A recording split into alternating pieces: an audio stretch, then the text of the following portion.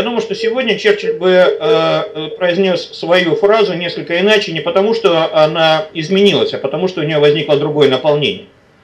Он бы сказал, что у страны есть интересы и инвестиции. Угу.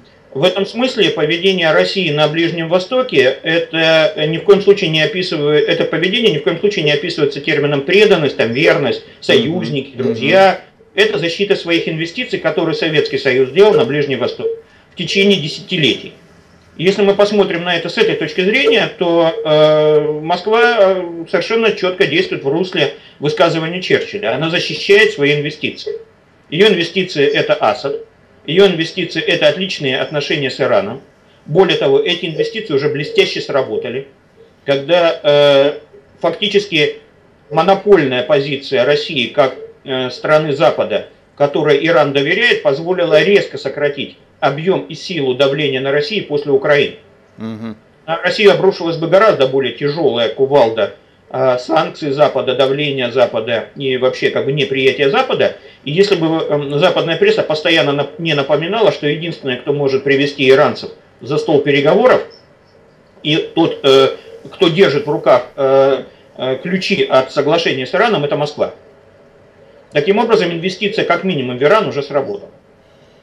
А, Путин таким образом рассчитывает на инвестиции и в светское правительство Асада, Э, э, понимая, что э, Асад нужен Западу как единственная военная сила, сегодня реально противостоящая исламскому государству, а кроме Асада, корпуса стражи исламской революции и Хизбаллы, реально с исламским государством воевать просто некому. 57, по-моему, подготовленных специалистов за все годы армии США, которые еще и требуют авиационного прикрытия с воздуха, это даже не смешно.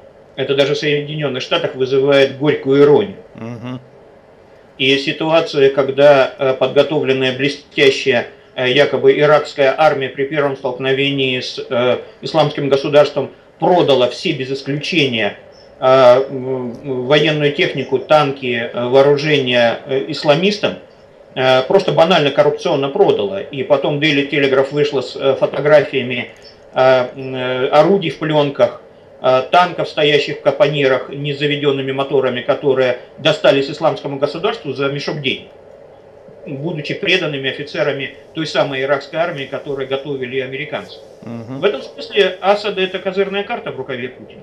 Потому что это не потому, что он ему так симпатичен. Кстати, я напоминаю, что Асад очень э, сдержанно отзывался о Москве и скорее до этого кризиса вообще-то ставил на монархии залива.